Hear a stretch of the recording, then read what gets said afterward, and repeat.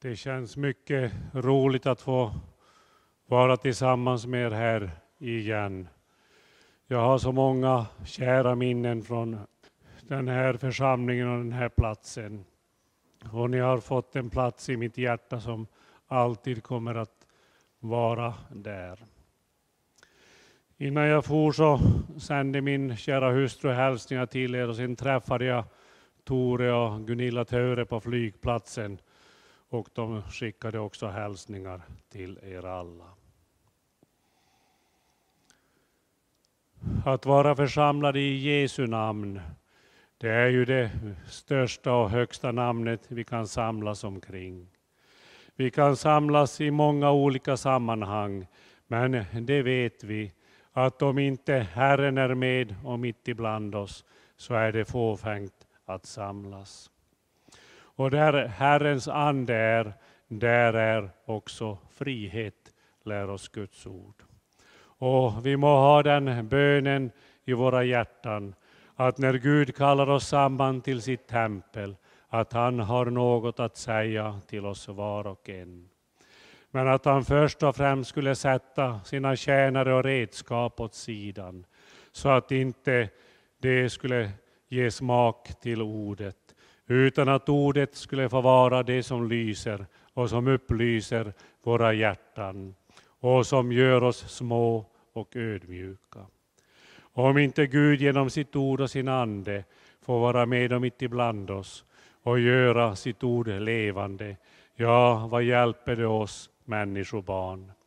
Men om ordet får bli levande i våra hjärtan, ja, då kan också Gud verka. Då kan också Gud låta sitt ord göra det det är satt att göra.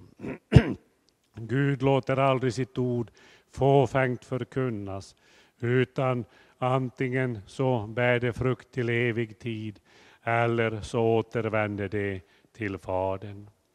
Och vi må ha den bönen och den tron i afton, att ordet skulle ha trogna mottagare, hungrande själar, hungrande hjärtan. För om ingen hungrig finns, ja varför skulle då Gud komma och mätta oss med sitt eget? Det är som vi läser i Jakobs brev, att vi ber illa och därför får vi ingenting heller. Och så är det ju i sanning. Om vi har hunger, ja då har vi också en bön i våra hjärtan att Gud skulle ge. Och då tror jag också att löftesordet fullbordas. Men om vi är mätta, om vi är liknöjda, om vi känner att vi har allt, vi behöver ingenting mer. Ja, vad skall du, då Gud kunna komma med oss och ge oss någonting? Utan då kanske ordets dörr också är stängd.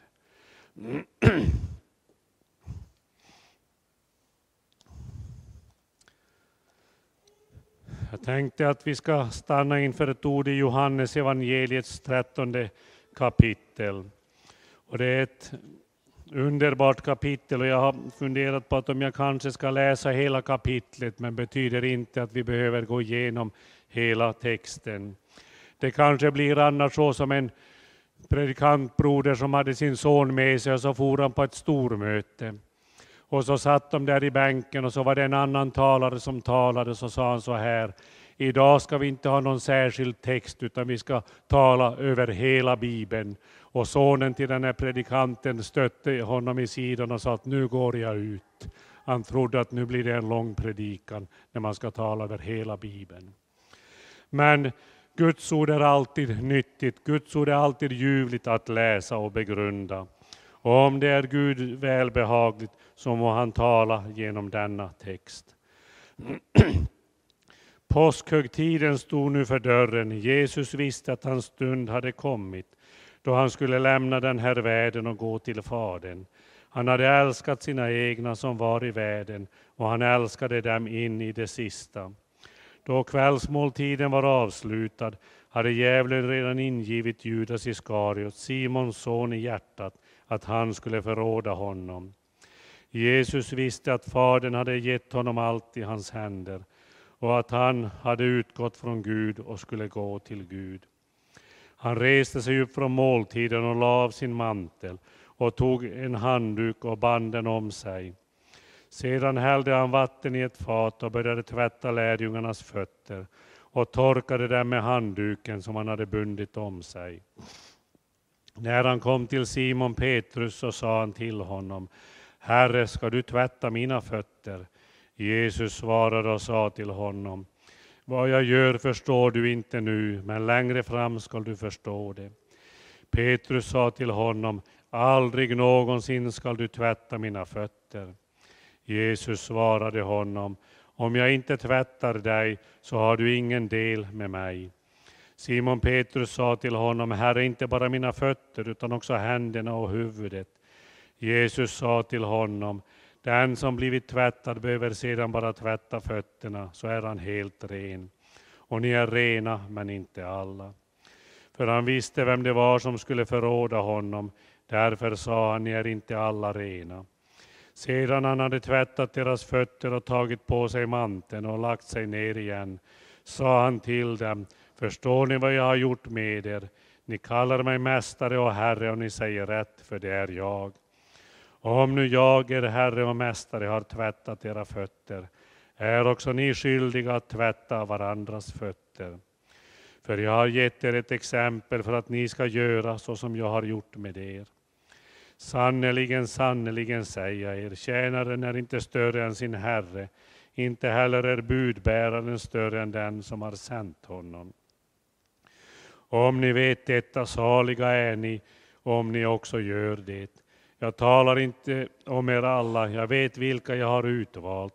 Men skriften måste uppfyllas, den som äter brödet med mig har lyft sin häl mot mig. Redan nu säger jag det till er innan det sker, för att ni, när, jag har, när det har skett, skall tro att jag är. Sannerligen, sannerligen säger jag er, den som tar emot någon som jag sänder, han tar emot mig.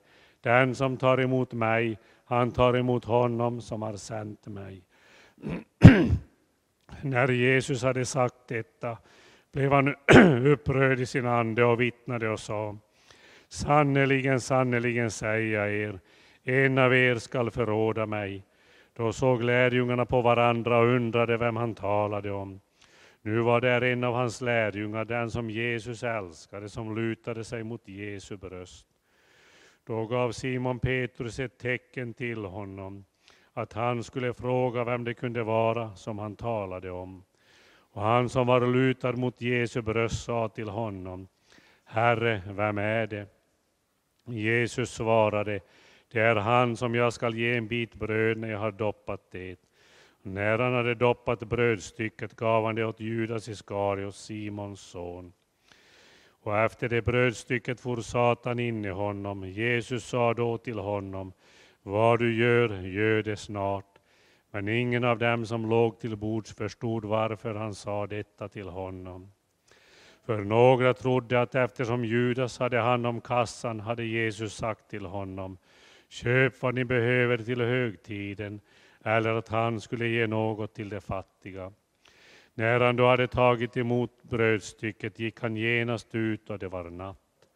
När han då hade gått ut sa Jesus, nu är Människosonen förhärligad och Gud är förhärligad i honom. Om Gud är förhärligad i honom så skall också Gud förhärliga honom i sig själv och han skall snart förhärliga honom. Barn, ännu en kort tid är jag hos er, ni kommer att söka efter mig och som jag sa till judarna så säger jag också till, nu till er, dit jag går kan ni inte komma. Ett nytt bud ger jag er, att ni skall älska varandra som jag har älskat er, så skall också ni älska varandra.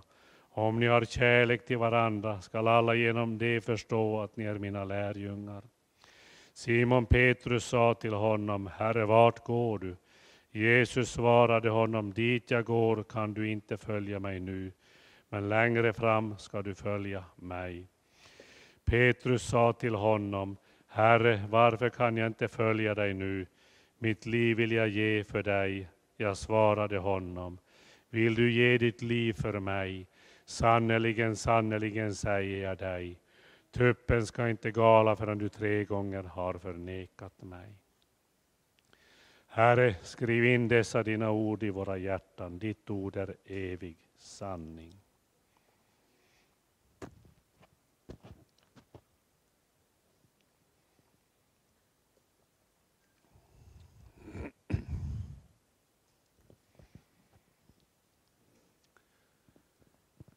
Jesus vandrade här på jorden med sina lärjungar.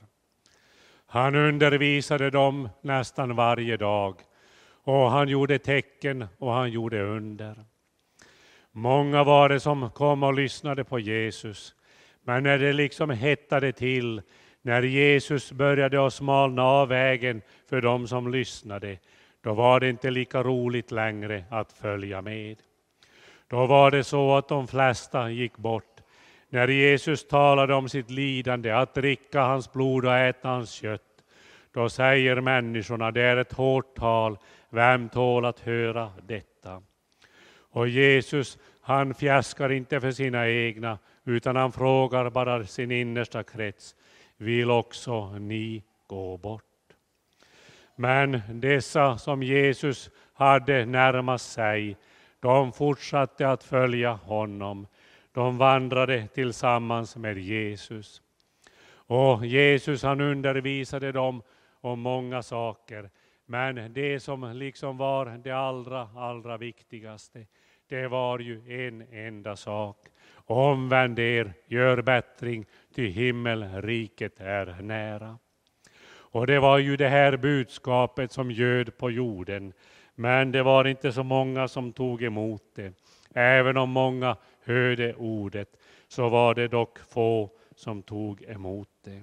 Och när den sista dagen kommer så vet vi inte heller hur det är med denna skara och denna församling, hur det är med mig och med dig. Vem har tagit emot budskapet så att det får bära frukt till evig tid?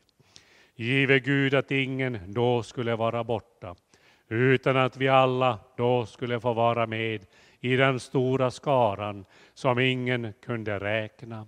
Den skaran som hade tagit sina kläder rena i Lammets blod. Den skaran som hade vandrat här på jorden såsom usla och eländiga, såsom syndare och fördärvade, såsom förtappade och som ingenting i den här världens ögon.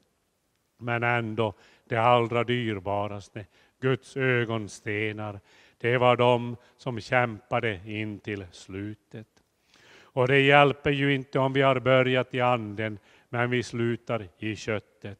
Det viktigaste är att vi börjar i anden men att vi också blåser ut vår egen livsande den sista gången med den tron och förvissningen att dör jag så dör jag för Herren. Lever jag så lever jag och uppstår med Herren. Det var en gammal man som predikade en gång. Han sa, vi föds för att dö, men vi dör för att leva. Och det är ju verkligen sanningen. När ett nyfött barn föds, då tänker vi ju inte på döden. Då ser vi ju allt det underbara som finns i Guds skapelse och i detta underverk, detta barn som är nyfött. Ja, vi ser vad Gud är god och fantastisk vilka gåvor han kan ge åt oss människor. Men ändå är det första dagen, det är början på en resa mot evigheten och först och främst den jordiska döden.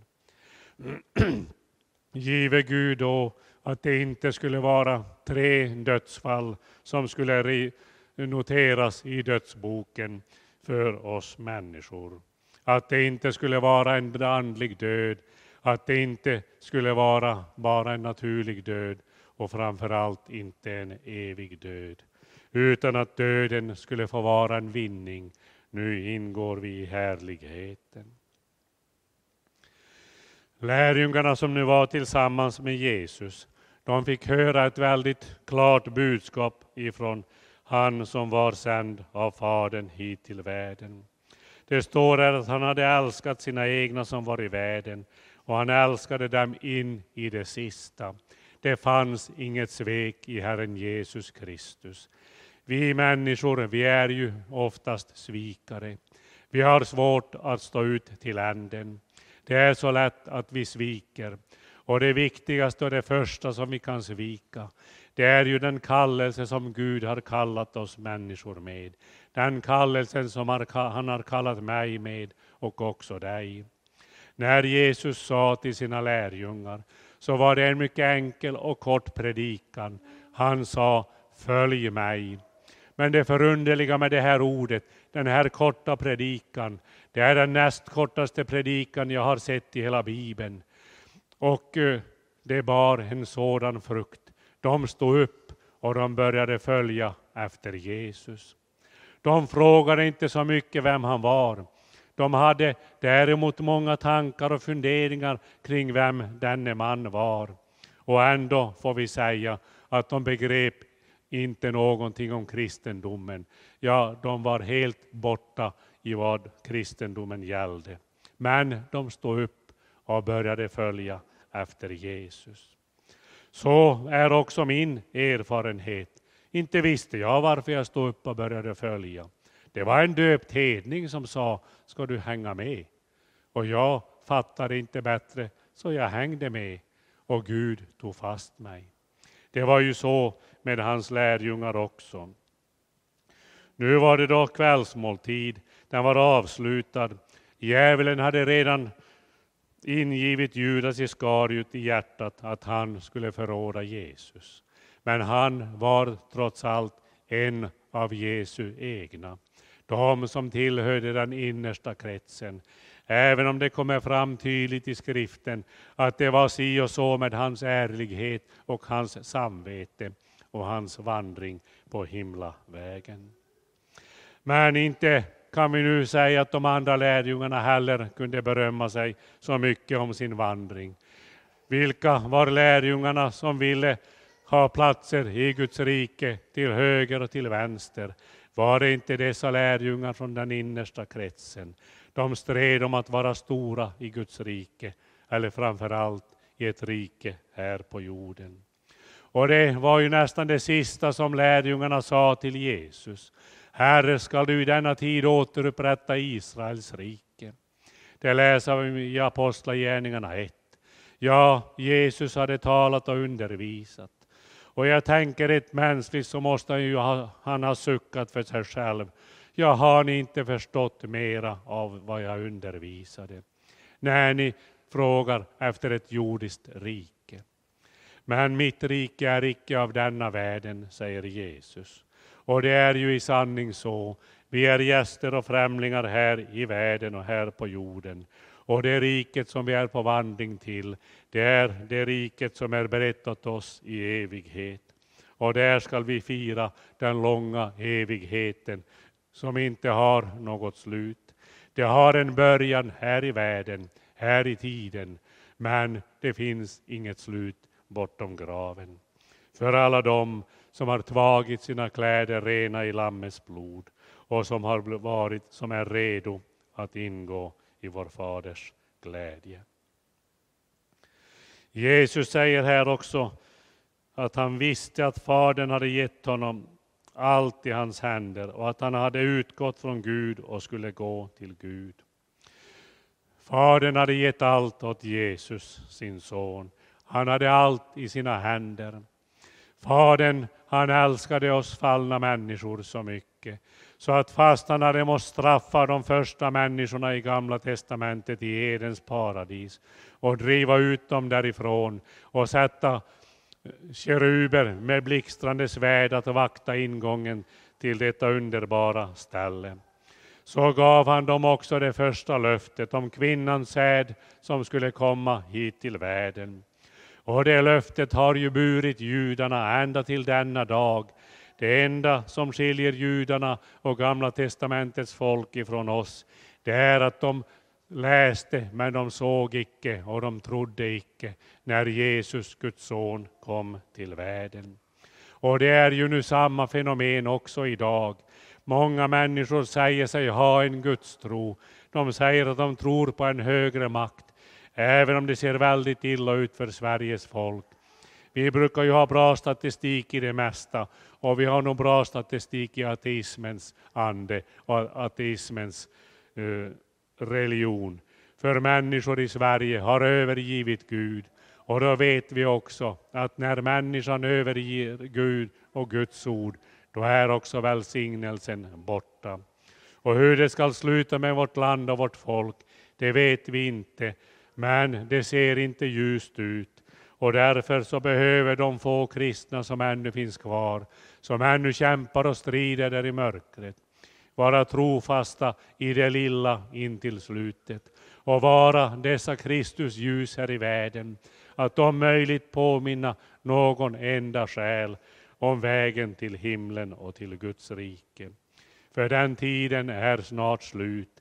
Den tiden är snart här när himmel och jord skall förgås, men mina ord skall i sanning aldrig förgås. Jesus hade fått allt i sina händer. Han har all makt i himlen och på jorden. Det är han som skall döma levande och döda på den yttersta dagen.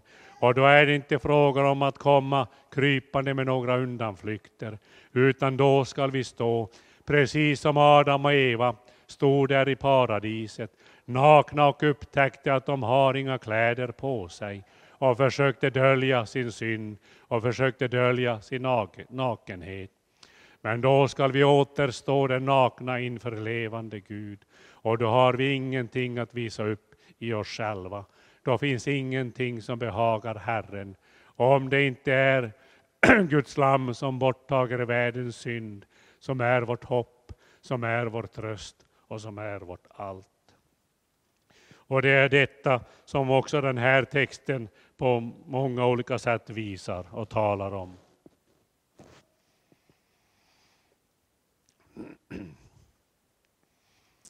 Nu reser sig Jesus upp från måltiden. Han har en mantel som han lägger av och tar en handduk och binder den om sig.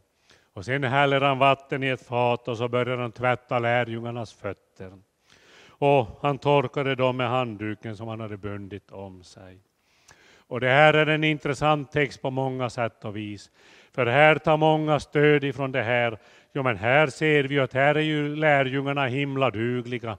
Här är de nu färdiga att ingå i härlighetens land och himlen. Men om vi då läser hela kapitlet, och det var därför jag läste det från första till sista versen, så förstår vi att det är att göra våld på sanningen. Om vi tänker att nu har Jesus tagit inte bara Simon Petrus utan alla andra lärjungar. Nu har han tagit deras fötter. Och när Jesus säger att ni är redan rena, så är det många nådetjuvar som tar det här ordet till sig och säger att ja, men nu är jag ren, nu är jag himladuglig, nu är allt som det ska.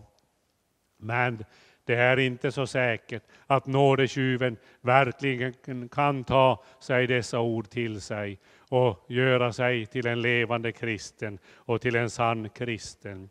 Utan jag tror att då bedrar man sig själv och sanningen finns inte i en. Vad skulle Jesus ha gjort här på jorden om det hade räckt att han hade tvått våra fötter? Om vi hade skurit av här och sagt att nu är det the end, nu är det slutet, nu står det inget mer om honom. Ja, då är det ju som att vi skulle ha trollat bort hans lidande och hans död och hans segerrika uppståndelse. Och många säger ju att ja, men lärjungarna de var ju i en levande tro redan före påsken och redan före Jesu lidande. Men vad skall vi då med en frälsare till? Då klarar vi oss bra utan. Då räcker det bara att vi på Jesu befallning tvättar varandras fötter, så är det klart. Men jag tänker att då är det bara utsidan vi håller på och putsar och fejar. Och nu är det viktigt att vi har ett rättfärdigt liv och levande som kristna och Guds folk. Men om inte detta börjar på insidan så spelar det ingen roll hur mycket vi putsar och målar och tvättar och fejar. Det gjorde de som vandrade där på Jesu tid. De var som vitmenade gravar, de var vita och putsade och fina utvändigt. Fariséerna och de skriftlärda, de kunde skriften framlänges och baklänges, de kunde den utan tills. Och fariseismen kan vi säga, det var ju en väckelserörelse redan det. Där man ville återvända till Guds ord och att Guds ord skulle få vara det som är evig sanning och som leder och för oss sakta framåt. Men man har ju en tendens som människa, liksom i Gamla Testamentet, att tycka att himlavägen, den är ju lite för enkel. Och därför så måste vi ju ta och fixa till det så det blir lite svårare. Och då hade man över 600 e- extra bud och stadgar i Gamla Testamentet som man då skulle följa, så att vägen skulle bli lite svårare. Och nog är det nära till hands också för oss kristna att vi försöker börja med traditionen och med historien och med den andliga bakgrund som vi kanske är uppväxta i. Att vi börjar att lägga på lite extra, för det verkar ju vara lite för enkelt det här. Och ja, då kanske vi börjar med budorden. Det är ju bara tio budord. Det kan väl inte vara så svårt att följa. Ja, tänker människan, det där kanske vi håller någorlunda till det yttre. Men när Jesus började tala om budorden så säger han, det står skrivet. Och vad gör Jesus? Ja, han lägger inte till någonting, men han förklarar betydelsen av lagen och vad budorden verkligen betyder. Och då talar han till människornas, åhörarnas hjärtan. Det står skrivet, men jag säger dig, du som tänker du dår i ditt hjärta, du är redan en mandråpare.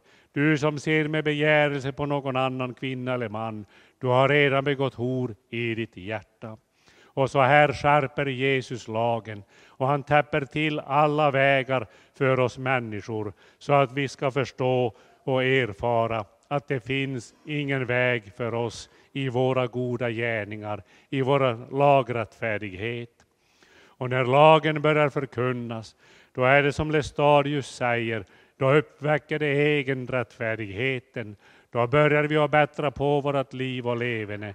Då börjar vi att upphöra med synden. Och det är ju en gudelig sak att upphöra med de yttre synderna. Tjuven slutar att stjäla, horan slutar att horas och horbocken slutar att horas. Och lögnaren slutar att ljuga. Och baktalaren slutar att baktala. Och så vidare. Men detta leder, om vi följer det här varje dag och följer det till sin spets, så är det ju vägen bort ifrån Gud. Om inte vi kommer till den punkten där Jesus börjar undervisa oss, där Jesus börjar visa på lagens verkliga betydelse och klä av oss människor det som vi i sanning är ifrån födseln.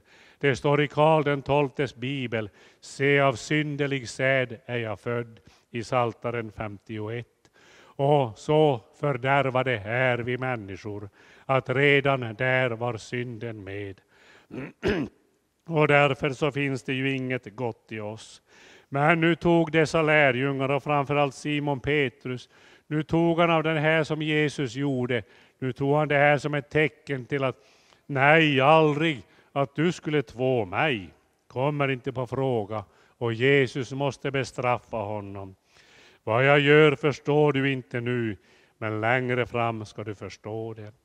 Av det här ordet förstår vi att Petrus, denna troshjälten, han som vi läste i slutet av kapitlet, han som skulle gå tillsammans med Jesus i döden och som vi läste i de andra evangelierna, han skulle aldrig någonsin förneka Jesus. Och de andra lärjungarna säger precis samma sak. Nej, de skulle följa honom i allt. Men ändå har Jesus redan här och tidigare också fått bestraffa Petrus. Och han säger, vad jag gör förstår du inte nu. Men längre fram ska du förstå det. Allt har sin tid, så är det också med Guds nådesordning. Det låter ju väldigt akademiskt och det ordet står inte i Bibeln, men hela Bibeln är ju ett vittnesbörd om den nådesordning som Gud har tilldelat oss människor för att återvända från mörkret till det underbara ljuset. Och Gud har en ordning i allt. Vi ser inte alltid ordningen. Vi kan tycka att det kan vara kaos och det kan vara mörker. Men Gud har alltid sin ordning som är tydlig och klar. Men när nu Petrus hörde det här ordet, att det räckte ju med att fötterna skulle tvås och att inte han då först ville bli tvättad av Jesus överhuvudtaget. Aldrig någonsin skall du tvätta mina fötter. Och då måste Jesus återigen bestraffa honom och avslöja honom. Och om jag inte tvättar dig så har du ingen del med mig. Och då blir Petrus ivrig, om inte han var det tidigare. Herre, inte bara mina fötter, utan också händerna och huvudet. Han ville ju göra det här ordentligt. Inte ville han lämna det här på hälften. Känner vi igen oss så som en god kristen? Nå vill vi många gånger vara som Petrus. Inte vill vi ju lämna kristendomen på hälften. Vi vill göra det ordentligt. Och speciellt när egenrättfärdigheten bedrar oss så vill vi göra saker och ting så noggrant som vi bara kan. Vi vill göra det som Petrus ordentligt. Nu räckte det inte bara med fötterna. Nej, nu skulle huvud och händer och allt tvättas av Jesus. Och det var ju en god intention. Han kanske innerst inne kände att han är en syndare. Det står inget i det här upplästa stället. Men senare kom han ju att erfara tydligt och klart att han i sanning var en syndare. Att han var, så som Lestadius säger, en trasdjävul som ingenting dög i sig själv, utan han var fullständigt i avsaknad av allt.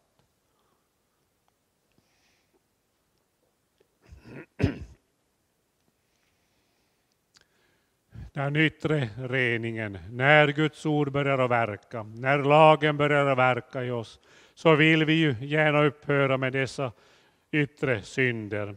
Men där finns också sådana synder som vi kanske har svårt att släppa, som vi älskar ända till slutet.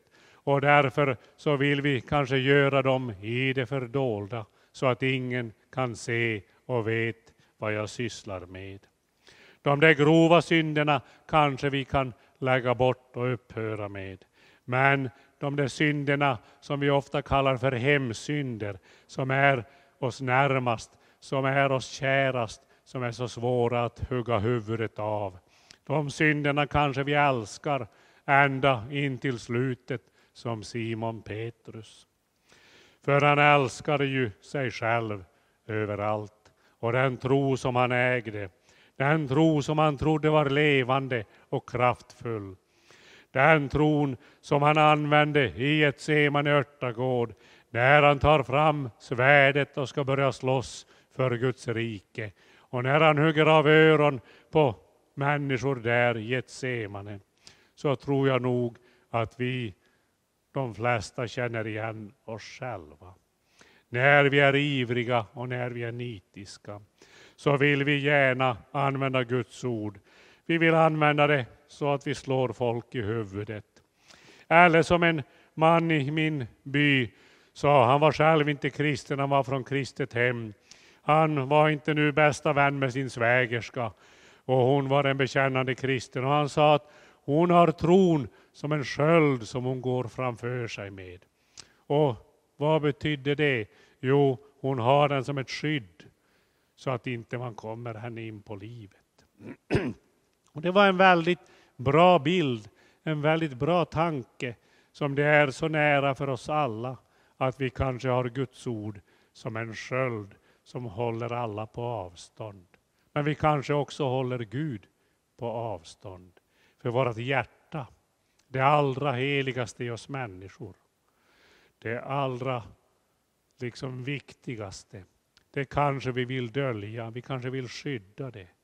Vi kanske har de där hemliga synderna. Vi kanske har de där hemliga lidelserna och passionerna som vi vill dölja, som finns längst in.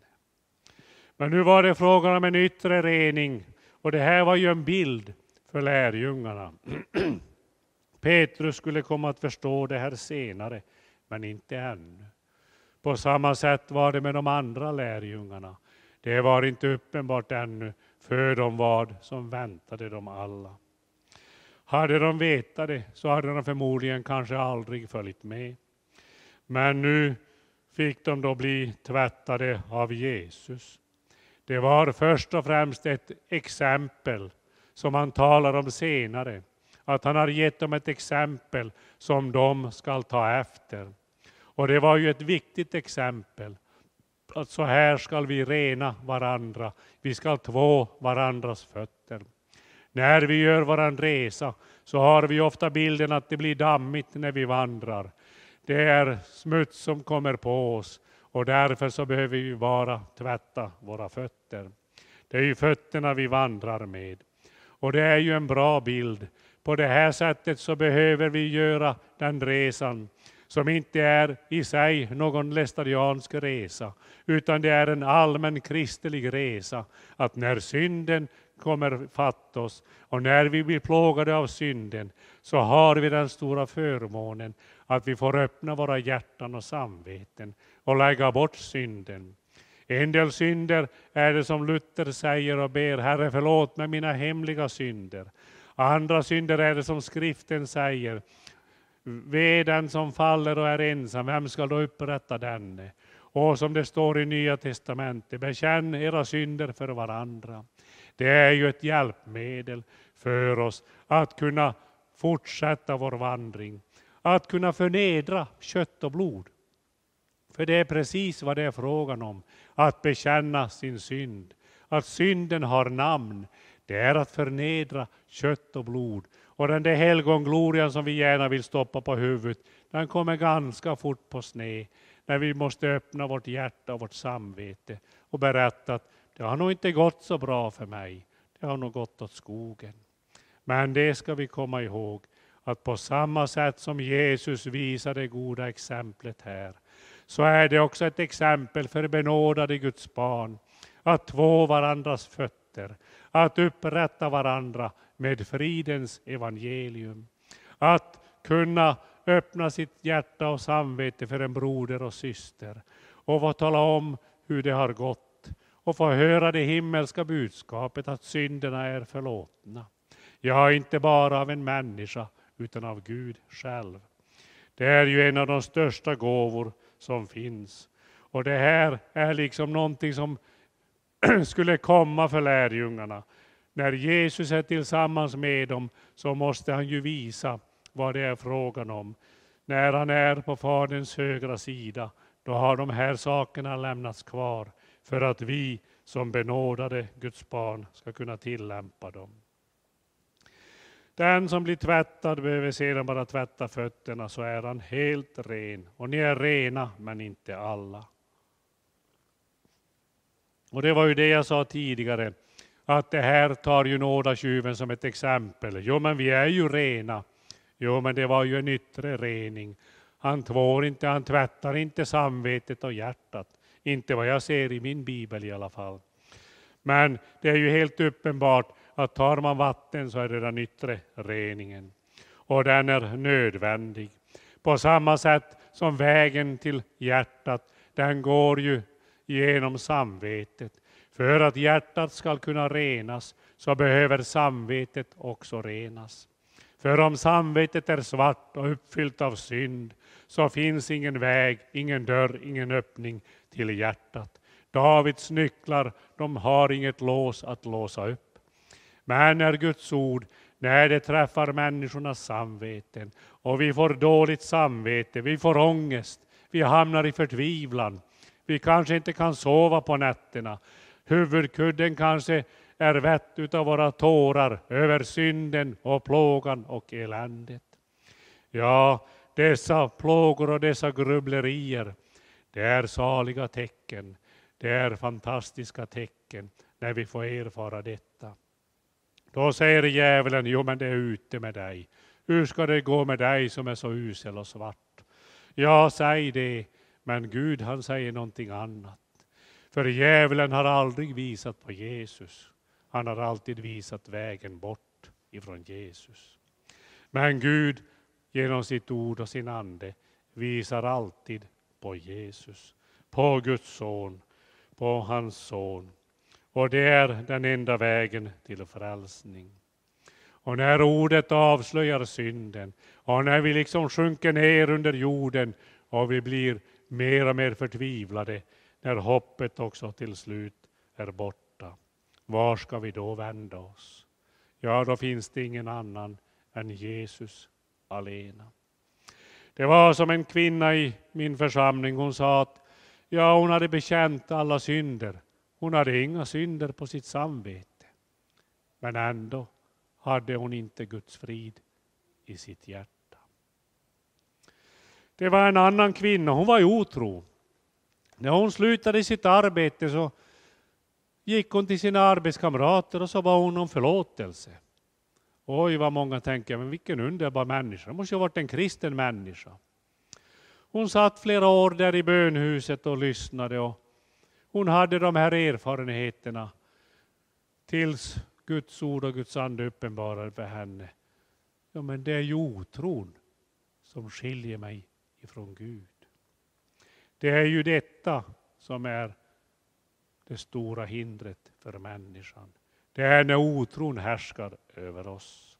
När inte Guds ande genom tron bor i våra hjärtan, då är det otron som finns där. Och den yttre reningen, den är bra, den är nyttig och den är god. När den yttre reningen är gjord, när samvetet börjar renas, när man plågas över sitt onda samvete och lägger bort sina synder, ja då ser man att det tar ju aldrig slut. Det kommer nya synder hela tiden. Det är som när man spelar Tetris, som kanske många har spelat. Det kommer nya klossar hela tiden. När man har fått en rad färdig kommer det nya. Och till slut är det ändå upp på skärmen, det står en upp över halsen. Så kan det vara när vi ser på oss själva. Man ser inte något ljus, man ser bara mörker. Och var har man blicken? På sig själv. Finns det någon frälsning i dig och mig? Nej, ingen frälsning. Fanns det någon frälsning i Simon Petrus? Ja, han trodde det ett tag, för han var redo för himlen. Men när han kom till vägs ände, när han stod på översteprästens gård och ser Jesus som ingenting säger, gripen där, och Petrus har tre gånger förnekat honom. Då gråter han bitterligen. Den sorgen var nog efter Guds sinne. Han förlorade allt. Hoppet, tron, allt försvann för den största troshjälten bland lärjungarna. Sen fortsätter Jesus, när han hade tvättat deras fötter, tagit på sig manteln och lagt sig ner igen. Så frågar han, förstår ni vad jag har gjort med er? Om de hade förstått så hade det ju varit en helt annan sak. Men Jesus fortsatte, ni kallar mig mästare och herre och ni säger rätt, för det är jag. Och om du jag är herre och mästare har tvättat era fötter är också ni skyldiga att tvätta varandras fötter. Det här var alltså en skyldighet för oss. Det här var inte någonting vi kan välja, utan det var en skyldighet att upprätta varandra med fridens evangelium. Jesus har gett exemplet för att ni ska göra så som jag har gjort med er.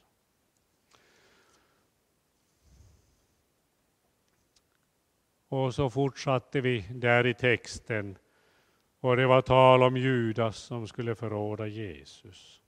Och om lärjungarna som sitter där och har synpunkter om det ena och det andra. Och det är helt uppenbart att Jesu fråga, förstår ni vad jag har gjort? Förstår ni vad jag säger? Nej, måste vi säga. Herre, vi begriper inte ett smack. Ingenting. Men ändå var de på väg mot evigheten. Vad var det som saknades? Vad var det som behövdes för att de skulle förstå? De behövde följa efter Jesus. De behövde gå ut till Getsemane örtagård. De behövde, de behövde vara där när skaran kommer för att gripa honom. Och när de kommer för att gripa Jesus så blev det inte många lärjungar kvar. Petrus försökte kämpa och strida. Men hela bunten de stack. Det blev ingen kvar. Det var inte som på förklaringsberget, att det var Jesus alena. När lärjungarna lyfte upp sina blickar. Nu var det måhända så att när Jesus lyfte upp sin blick så var det inga lärjungar kvar. De hade stuckit. Det var en förrädare och världshopen som var kvar.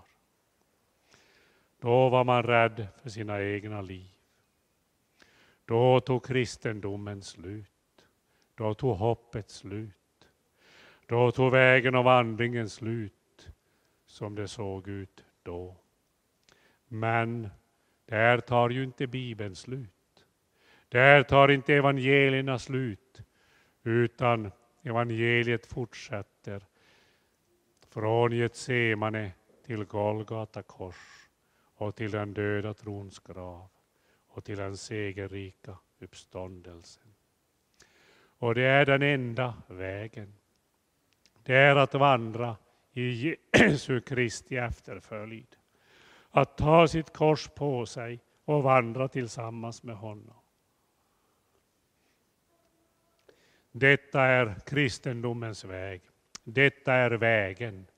Det är som Jesus säger om sig själv, jag är vägen, sanningen och livet. Vägen, den vet vi. Det är Guds ord som visar oss. Det är att följa efter honom. Det är en väg som inte är så rolig alla gånger.